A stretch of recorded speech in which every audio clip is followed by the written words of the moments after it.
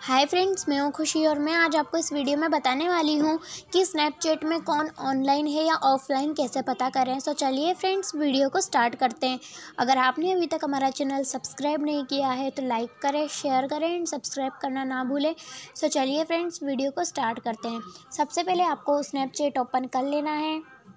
Snapchat open होने के बाद, उसके बाद आपको ऊपर अपनी प्रोफ़ाइल आइकन दिखाई देता है, आपको उस पर क्लिक कर देना है। उस पर क्लिक करने के बाद आपको यहाँ पर नीचे स्वाइप करना है और यहाँ पर शेयरिंग लोकेशन का ऑप्शन दिखाई देता है, आपको उस पर क्लिक कर देना है। इस पर क्लिक करने के बाद यहाँ पर आप देख सकते हैं कि कौन ऑनलाइन था या ऑफलाइन आप इसको जूम भी कर सकते हैं। कोई दिक्कत जैसे कि यहाँ पर आप देख सकते हैं, ये सौरभ जो नेम आ रहा है थ्री आवर पहले ऑनलाइन थे। ऐसे आप किसी का भी यहाँ पर ऑफलाइन या ऑनलाइन सीन देख सकते हैं, पता कर सकते हैं। अगर आपको ये वीडियो पसंद आई है तो लाइक करें, शेयर करें एंड सब्सक्राइब करें। Thank you.